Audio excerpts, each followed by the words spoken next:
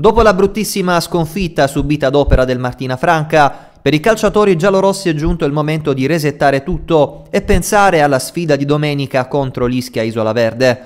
Gli uomini di Mister Lerda si sono ritrovati questa mattina al comunale di Squinzano per dare il via alla preparazione per la gara che li vedrà opposti alla compagine campana.